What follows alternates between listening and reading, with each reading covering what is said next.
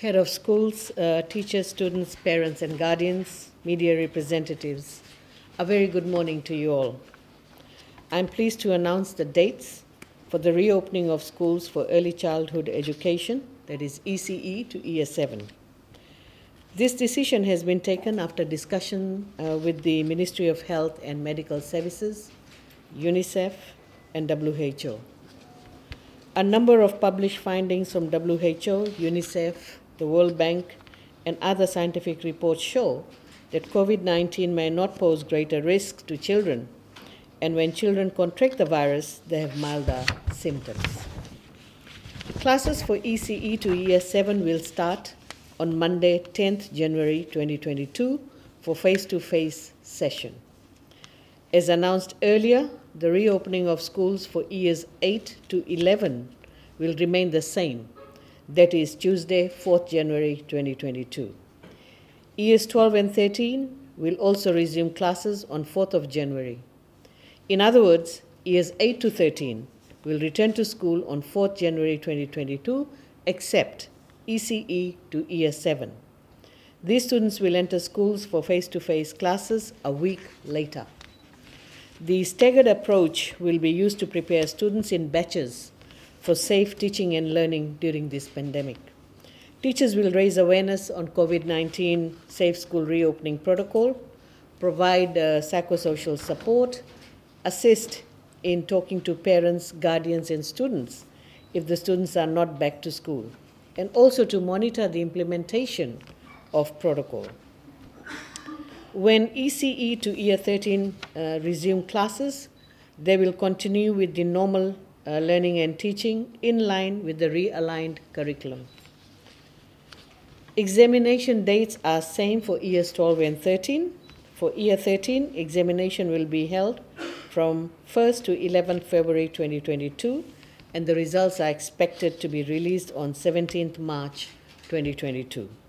For year 12, examination will be held from 7th to 17th February 2022 and results are expected to be released on 6th April 2022.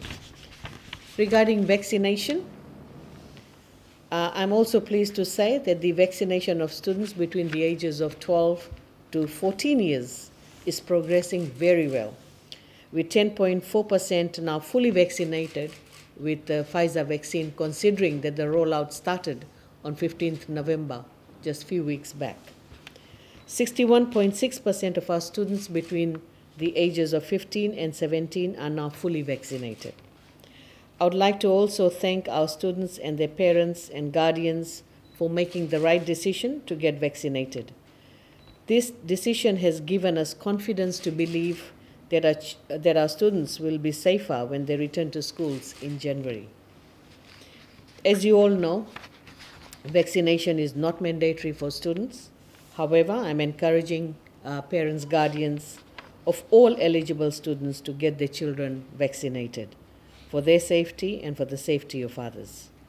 While the transmission of the virus is less common through schools, it has been found that transmission occurs more easily through communities. And if a child contracts the virus from the community, it is possible for the child to take it to school and transmit it to other students. So it's the other way around.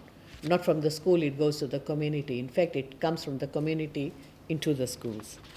I therefore make a humble plea to parents and communities to observe all COVID safe protocols when they gather for celebration over this festive season.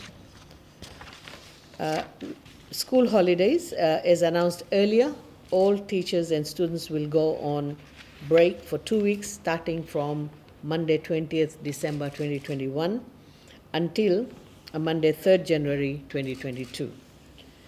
And I wish to reiterate the last day of reporting uh, to schools for all teachers will be this Friday, 17 December 2021, while the first day of reporting to school after the break for all teachers will be Tuesday, 4th January 2022, simply because 3rd January is a public holiday. You know, there has been a tradition that teachers re, uh, return to school on a Monday, students come on a Tuesday. But this time round, students and teachers will be reporting uh, to school on the same day, which is 4th of January. Uh, during this break, year 12 and 13 students will be given revision ac- activities to prepare for the external uh, examination. We all know this is the cyclone uh, period and also uh, festive season for us. So I'm asking the head of schools to take all precautions to secure schools properly, particularly the books and other expensive equipments they have, uh, including water tanks and generators.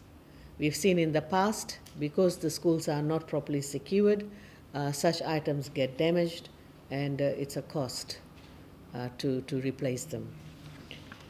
Uh, preparation for safe reopening of schools. Uh, let me reiterate that uh, training of heads of schools and mock drills by the Ministry of Education has given our officials, heads of schools, and teachers enough knowledge and skills to manage the safe reopening of schools. The preparation of the schools are going well, and officials from the Ministry of uh, Health and Medical Services will visit primary schools from this week to check the arrangements before schools close uh, for holidays uh, this Friday. Just like what they did for secondary uh, schools, so they'll do the same for the primary schools. The preparation of schools has been an intensive exercise, and I thank the heads of school, teachers, management team, parents and guardians, and communities for coming together to help make it possible. Do you realize when the school was closed for six months, obviously uh, the building needed a lot more care. Uh, the paint, etc., had uh, the building had to be repainted, and um, and all other uh, cleanli- uh, cleanliness had to be observed, so that when our kids return to school, they find the school environment conducive for, for learning. the ministry is arranging for e-transport cards to be ready for top-up as soon as this arrangement is made, we will inform everyone through the Ministry of Education and government Facebook page. So please watch this space. Ministry's support towards the reopening of schools, uh, whilst announcing the reopening plans for schools, the ministry is leaving no stone unturned in supporting the schools to create and maintain a safe environment for students, teachers, and ancillary staff schools have been given the liberty to use the free education grant to mobilize the resources that will create a safe school environment. With the support of uh, development partners and NGOs, PPE items such as thermal guns, sanitizers, masks, disinfectants, and so forth have been given to school, uh, schools around Fiji. For ECE primary and special schools, PPE items will be sent before Tuesday, 4th January 2022. I also take this opportunity to thank UNICEF, Suva Retailers Association, ADRA Fiji, Save the Children Fiji, Fiji Chemicals for their timely support for PPEs. My message to parents and guardians the education of children is and will always remain our top priority. As schools reopen, I want to assure our parents that we are here to provide any support needed by students to assist them in settling into their studies. We are very mindful that many parents and their families have gone through trying times over the past several months, and we are here to support our students through our teachers, heads of schools, and child protection officers. I also wish to urge parents to send their children to school when schools reopen so that children's education uh, is taken care of. Please note that at this stage, school uniforms are not mandatory, it's not compulsory. Students may come to school in their outings or what we call mufti. Kids know mufti better than outings if they do not have appropriate uniform. However, students are expected to come in the appropriate school uniforms when the new school year starts in April 2022. Parents are to ensure that their child's e-transport card is redeemed well before Tuesday, 4th January 2022. Bringing our students back to school is everyone's responsibility, and I urge each and everyone to help in whatever way possible to make this happen. I also humbly ask our parents and guardians to exercise extreme care and to diligently watch their children as we are in the cyclone season and uh, are approaching the festive season. Finally, on behalf of the Ministry of Education, Heritage and Arts, I wish everyone a blessed and safe Christmas. We can only hope that 2022 will bring better days in our lives. So, thank you. God bless. And uh, finally, we are ready to take your questions related to reopening of uh, schools. Thank you.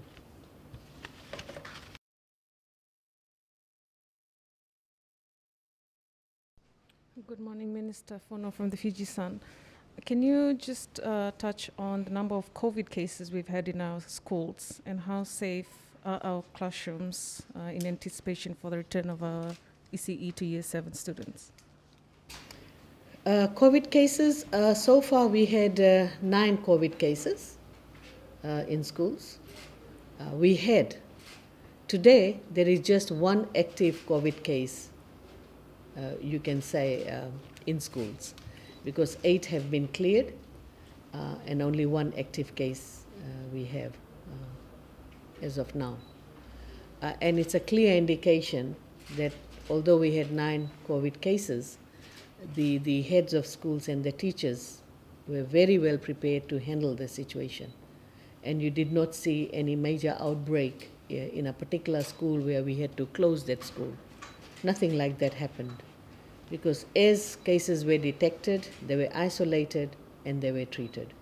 And that was our strategy uh, that was developed with the help of uh, Ministry of uh, Health. And Ministry of Health has been very, very helpful whenever the calls were made by teachers, even if a child was sick, not because of COVID, uh, but the health um, uh, team were there to, to assist. Uh, you know, part of the protocol, uh, it very clearly outlines that when a child is not feeling well, uh, and uh, if he or she complains, then what action a teacher must take. And in all schools, teachers have been following that guideline and after every positive case that uh, was reported, uh, Ministry of Health went back to check whether that protocol was used or not, you know, whether they followed that protocol or not.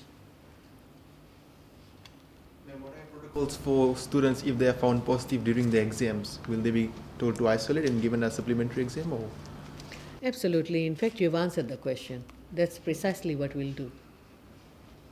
Ma'am, for year 12 students who want to move to year 13 upon completing their exams in February, with the new school year starting in April, will they be going home and waiting for the schools to open in April? Or? For year, sorry, year? Year 12. So year 12, when it's an external exam, and we all have gone through external exams, right? So when the external, when you sit for an external exam, you need to uh, wait for your final result. Uh, for for um, uh, year 12, the results will be out in March. And once the result is out, uh, the school will open on uh, around April 9. Uh, so that's when they go back to school. Remember, they've been working extremely hard while uh, the rest of the children are not because of the exams they have to sit. So it's always nice that after the exam they also get a break before they start their new school year or when they return to tertiary classes.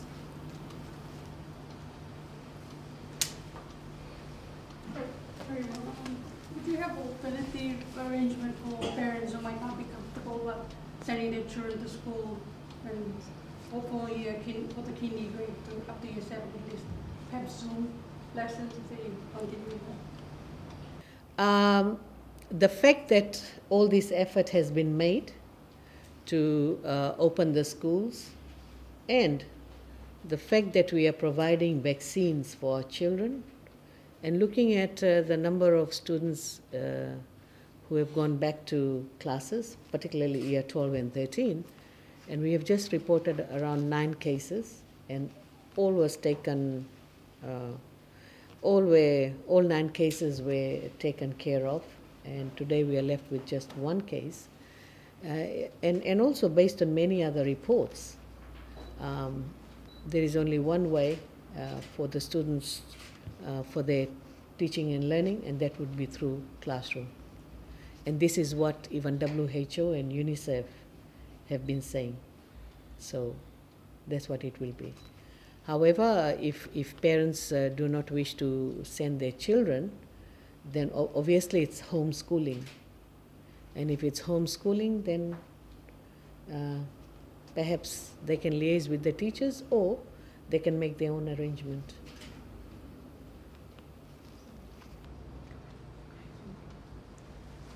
Have there been schools in the Rewa Delta which were not COVID compliant? Is the ministry aware of it? In the Rewa Delta? I will ask uh, PS to answer that. Thank you. Thank you. Um, since last week, we've been, um, they've been doing the mock trials and assessing schools. Um, more than 50% of the schools have been compliant. The ones that are not have been given um, instructions and they're currently working to make sure it's compliant. So every school will be compliant and not every school will in the first attempt be compliant. Um, Madam PS, I, I have a question. Uh, just in terms of the uh, coverage of the syllabus, uh, we've received uh, some uh, concerns from parents on how uh, the syllabus have not been covered, fully covered, and year 12 students are being told to sit for examination, and if they don't pass, they'll have to repeat. What is the ministry's uh, arrangement on that? I will take you back to last year. Remember, last year schools were closed for three months. When schools reopened, a realigned curriculum was given to students, and the students were then assessed based on the realigned curriculum. It's not uncommon to do that. We did exactly the same this year. This year, because it was a longer break, we took the time to make sure that we aligned the curriculum from, say, year 9 to 13 in a way that we did not leave any major knowledge gaps. So we aligned the whole thing together to try our best within the time frame, within the number of weeks that we have to complete, to make sure that there were no major gaps as students progressed. That is the best we can do. We cannot guarantee that every single thing that is in a normal curriculum will be covered, and that's why we call it realigned. Uh, Ma'am, what, uh, Mayor Reoni from Fiji One, what measures are in place to ensure uh, uh, that you address overcrowding in classrooms and also ventilation? As you know, our years 12 and 13, when they came in, the other classrooms were free. So the setup has been very good. Obviously, with all students coming back, um, social distancing will not necessarily be possible in every class for every student. Um, there are alternatives that teachers will be will be using, um, but the main thing is that classes have to be ventilated. We are pleased to say all you have to do is look at schools in Fiji, and our schools are naturally built for cross ventilation. And schools have been, and that's why we released the free education grant very early. Many schools are buying extra fans and putting extra fans in the classroom. So that works continuing, and one of the things when the Ministry of Health approves schools for, for preparedness is looking at ventilation, of course, and masking. Masking indoors is mandatory. So, the most important thing that we've been told by the Ministry of Health Medical Services is masking and uh, ventilation. So, those two are the most important things.